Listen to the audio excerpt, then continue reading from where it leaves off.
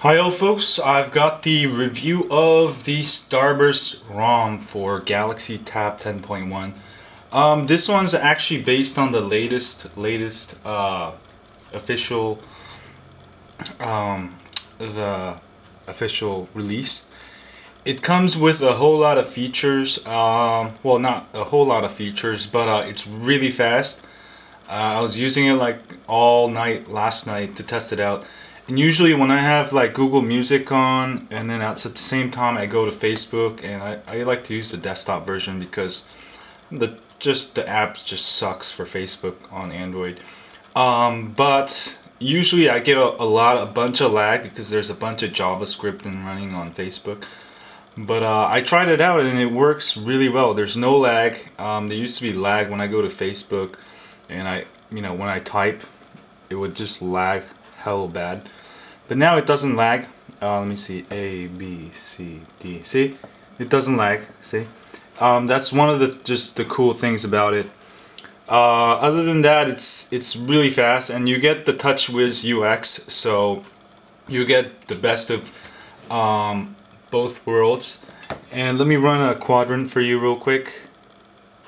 And I I freaking love this ROM. Um, there's no like you know extra like uh, themed whatever but it's gonna come but for now this is probably the fastest uh, Galaxy Tab ROM without overclocking and uh, I think it has more to do with the uh, the I.O. the file access um, we'll see here uh, for the test results but I highly recommend it this is the uh, Starburst ROM you can download it I'll have links below of course, you'll have to have your Galaxy Tab 10.1 rooted. It's on my site. It's really easy.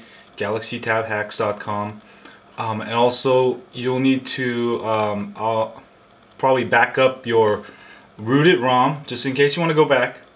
Um, and also, you'll want to learn how to install it. I have uh, installation. I'll have all of those links down below. Uh, anyway, this is a great ROM. I tried it, you know, last night, the whole night. And the battery life is pretty good too. See I got 2220 um, that's pretty good.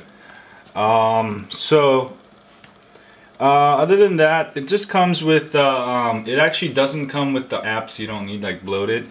That's why I think it runs much faster and I was surprised um, but go try it out and let me know what you think. And if there's any ROM you want me to uh, review or any phones because uh, I'm gonna try to go round robin style.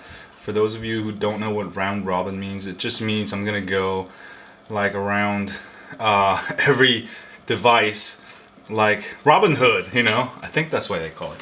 Anyway this week is ro round robin. Whatever device you have whatever ROM you want me to review or whatever how to you don't know how to um, leave in the comments below and thanks y'all for subscribing and we'll have more cool videos like this.